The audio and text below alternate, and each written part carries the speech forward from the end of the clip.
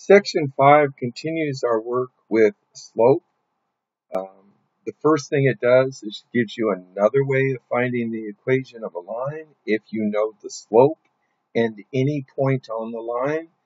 Uh, previously, we were going with the one point we knew was the y-intercept for our y equals mx plus b, but now we have a slightly different formula, this one here, y minus y1 equals m times x minus x1, where xy is any point on the line. It does not have to be where the line crosses the y-axis.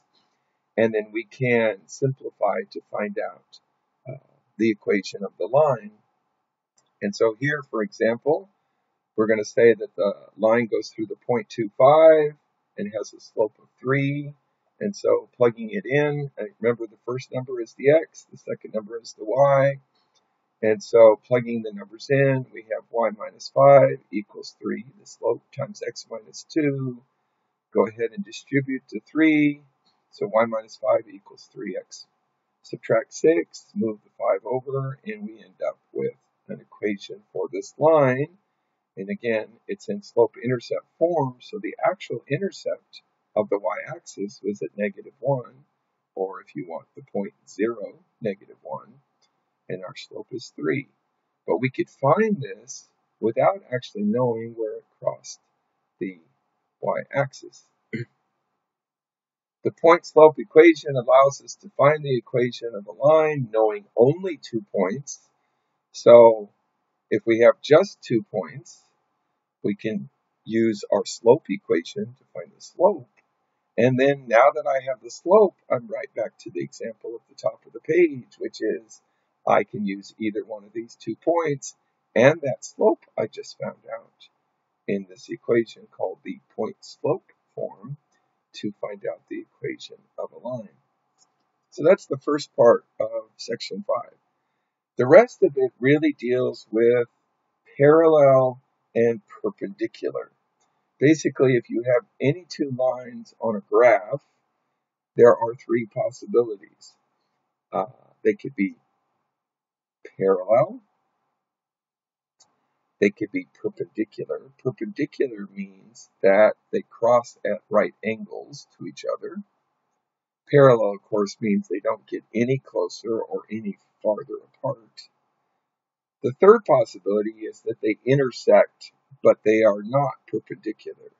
So the angles between the two lines are not right angles, are not 90 degrees. Here we have a couple of examples. Line A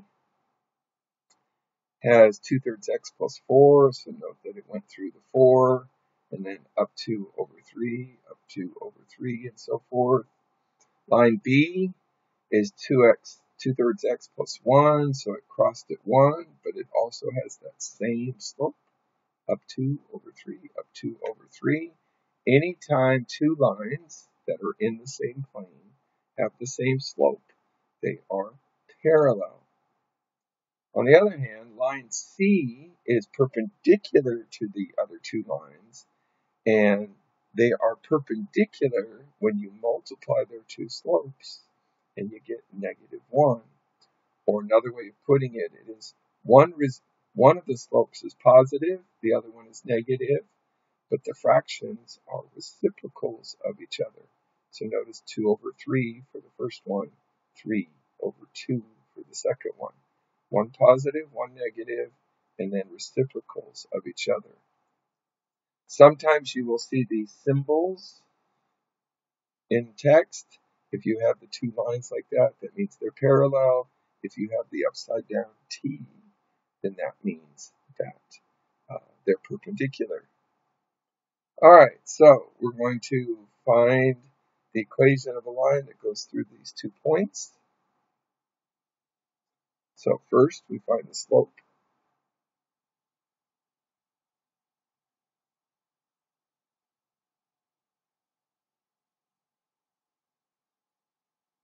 And again, we're, you know, basically just uh, going to go, you know, uh, uh,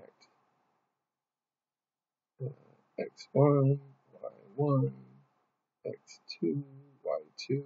Really doesn't matter. I just usually go left to right like I read.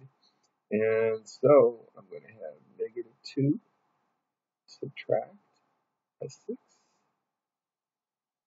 over 3 subtract negative 1. Top part gives me negative 8. Bottom part gives me a 4. And so my slope is negative 2. Now I'll use the point slope form.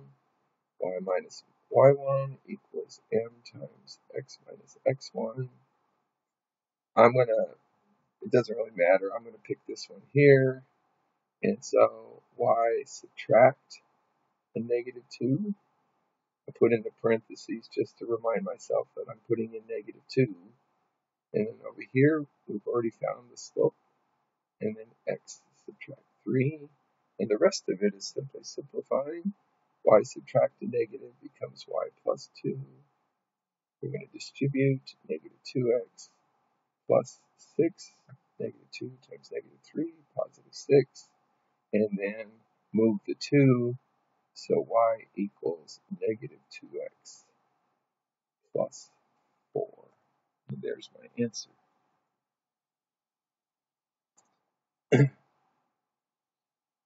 Okay, in the second one, similar kind of thing. y2 minus y1, x2 minus x1. So 5 subtract a negative 7 over 6 subtract a negative 2. 5 plus 7 will give me 12. 6 plus 2 will give me 8. So my slope is 3 over 2. Generally want to reduce that. And now I'll use my slope intercept form, or my slope point slope form.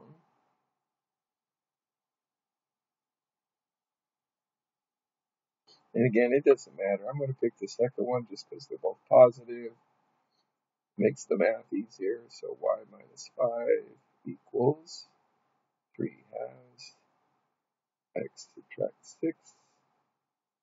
Let's go ahead and distribute.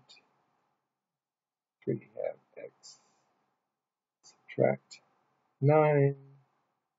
Add the 5 to both sides.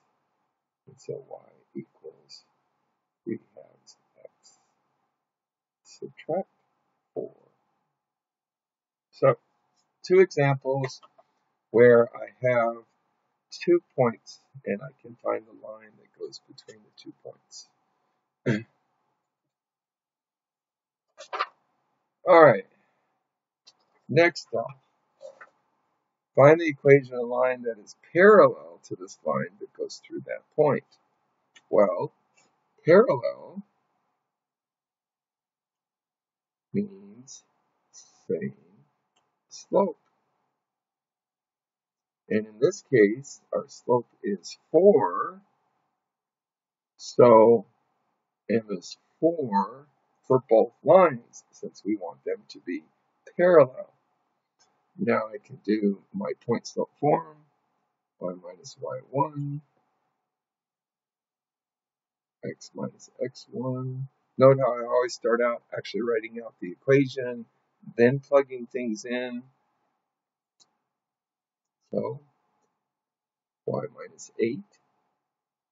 Again, the second number is always the y. 4 times x minus 3.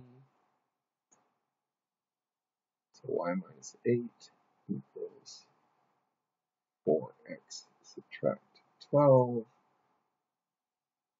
Move the 8 over, and y equals 4x subtract 4. In the second case, I want uh, a line that is perpendicular. Remember that perpendicular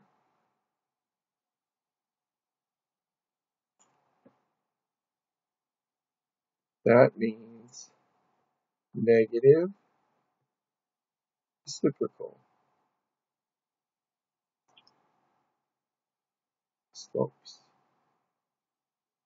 Now, this is written in standard form. I can't actually tell what the slope is yet, so I'm going to rearrange it. So 3x subtract 2y equals 8.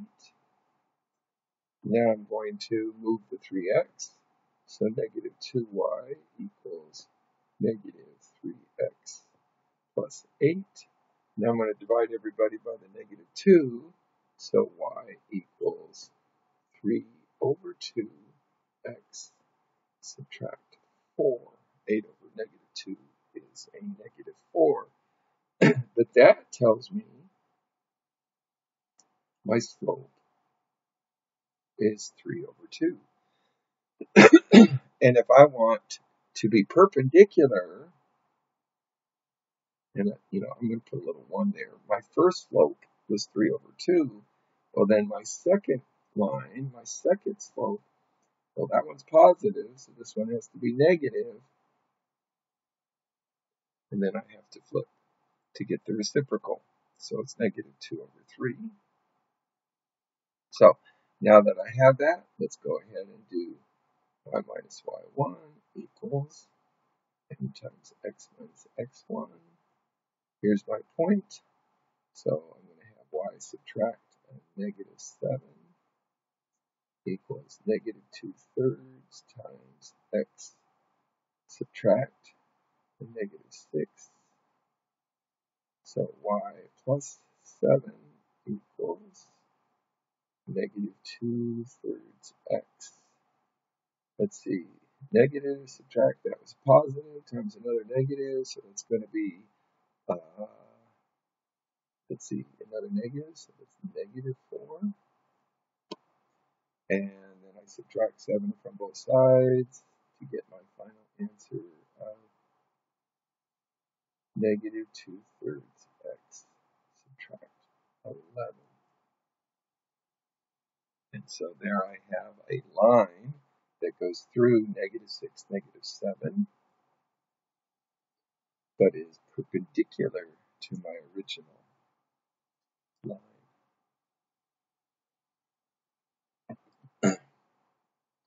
All right, so now we have one in which it is uh, set up as a word problem. Um, contracted a landscaper to instruct a wall cost was 10000 uh, paid a deposit the first month and agreed for fixed monthly payments until the balance was paid off. Let's see, so after three months,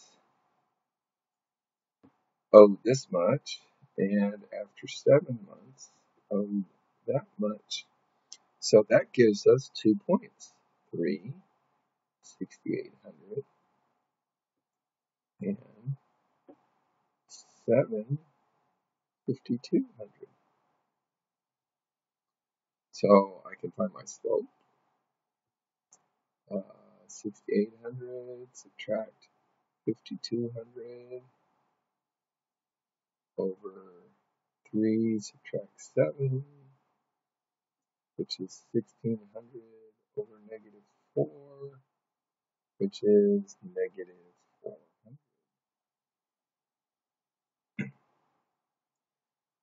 So that gives me uh, the slope.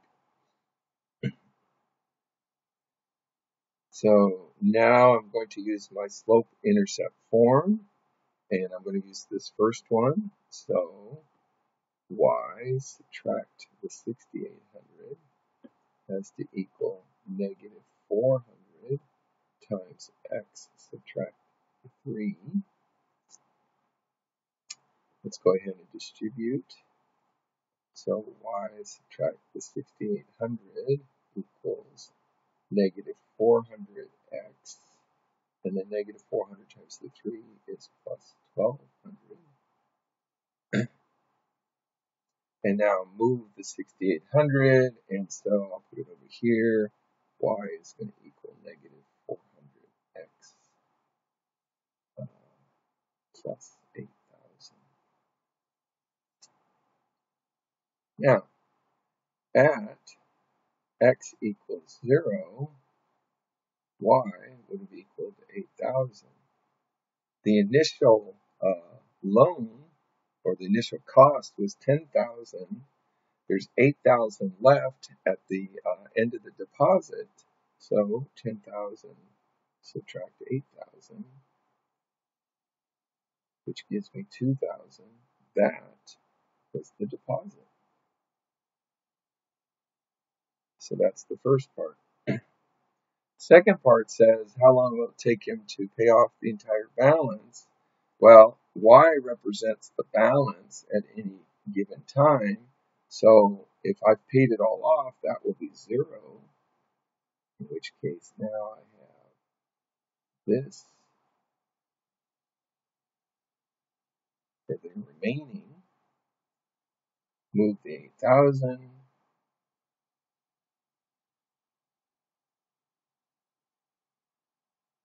Divide both sides by the negative 400, and x ends up being 20. So 20 months paid off.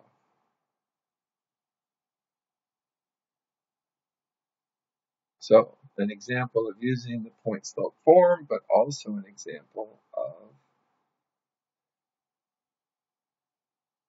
a real life example of a linear type uh, function. All right, in number four, we want to look at the pairs of lines and decide uh, whether or not they are parallel, perpendicular, or neither. Now, first thing to note, if the slopes aren't the same, they're not parallel. So negative 2, negative 1 half, not parallel. If I multiply them,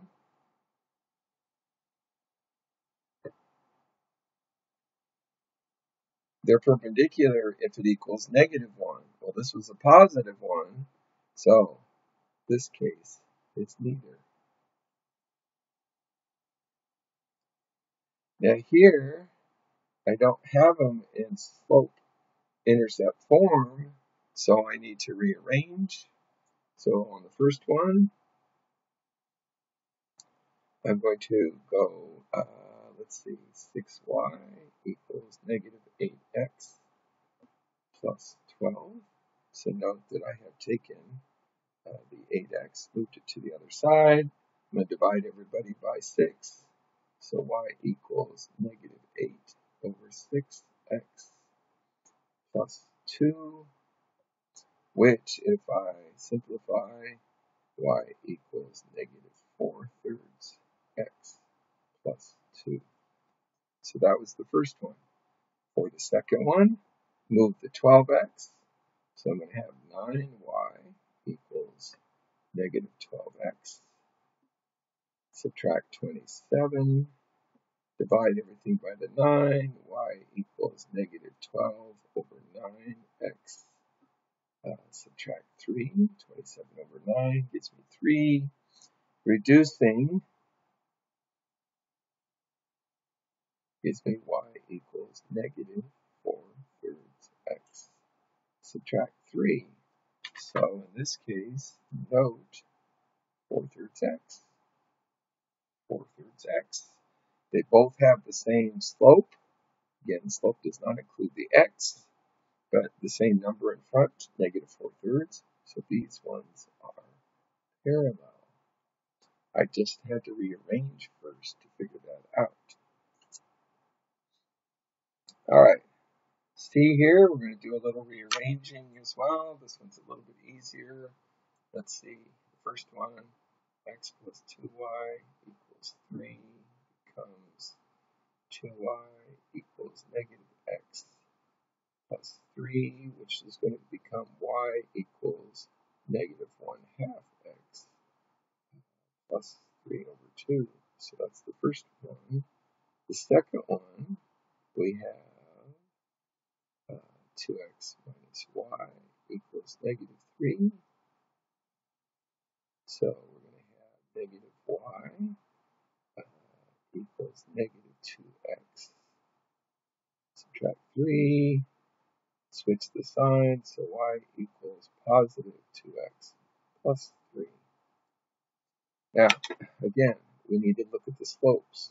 So there's the slope of the one, there's the slope of the other one. If I take negative 1 half times positive 2, I get negative 1, which means perpendicular.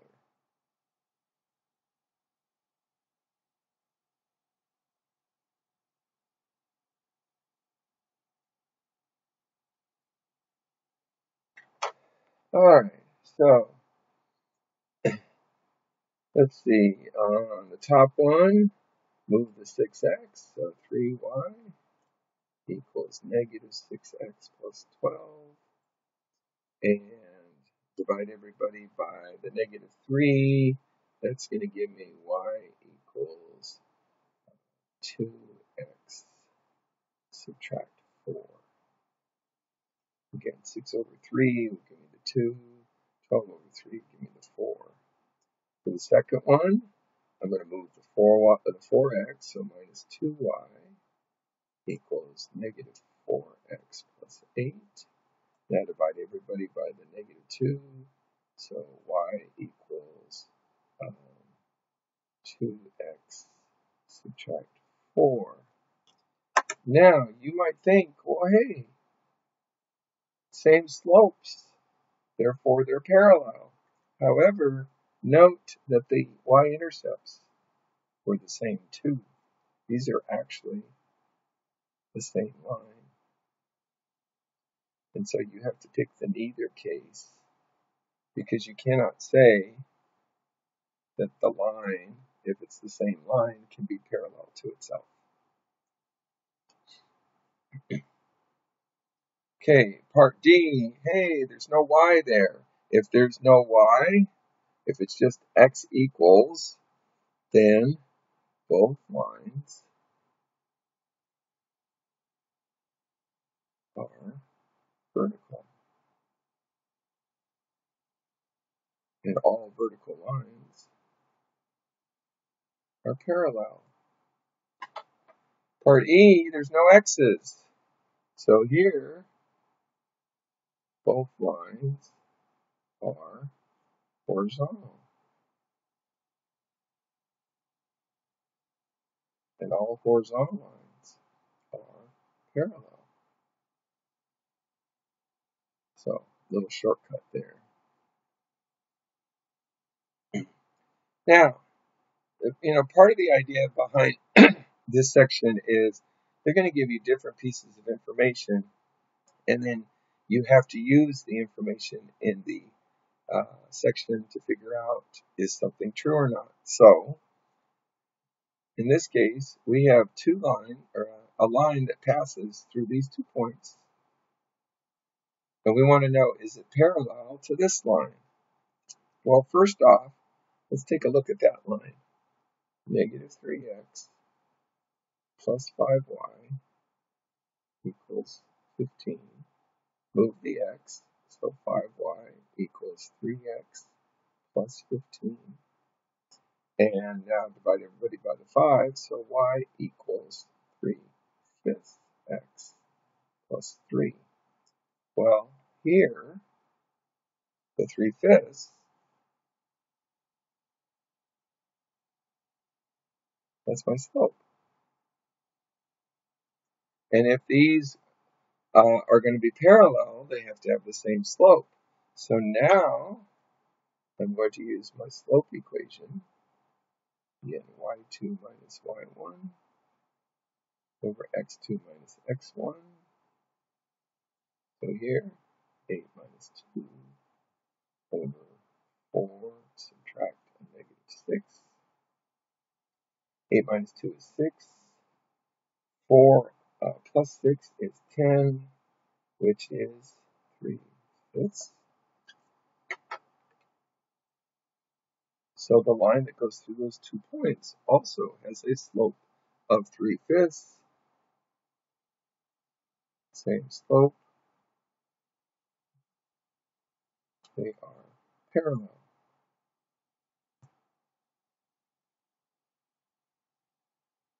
Part B, we're going to see the same kind of question, but now we want to see if they are in fact perpendicular. And so we're going to go through the same steps. First, I'm going to take my original line, which is not in slope-intercept form. Move things around.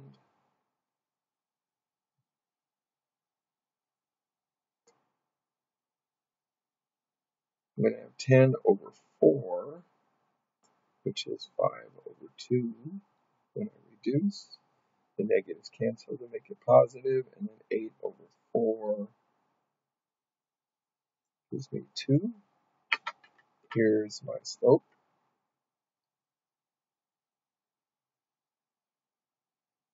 Five over two. And again, that's my slope. Now, we're going to use my slope formula to find out the line between these two points, what its slope is.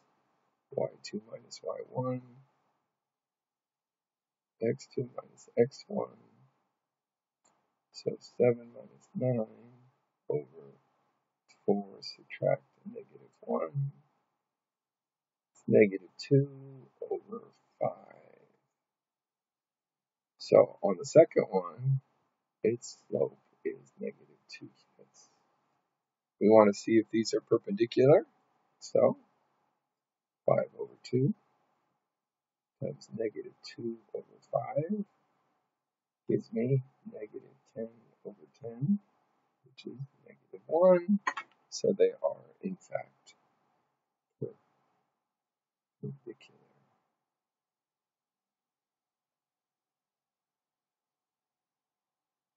And then in the last one, all I have are four points. So one line goes through the first two points, the second line goes through the second two points, and I want to know if these are perpendicular. So I'm just going to do my uh, slope formula twice.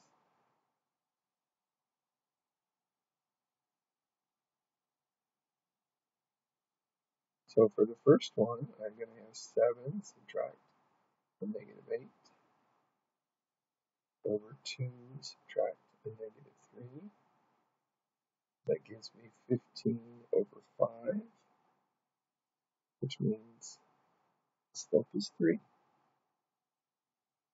In the second case, I'm going to have 7 subtract 3 over 7 subtract the negative 5.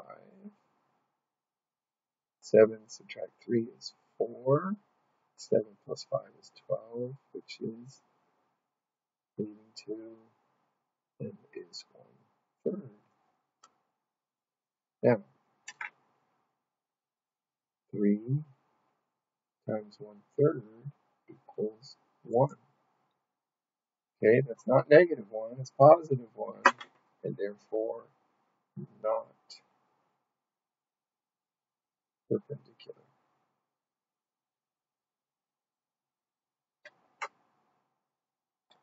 And so that gives us section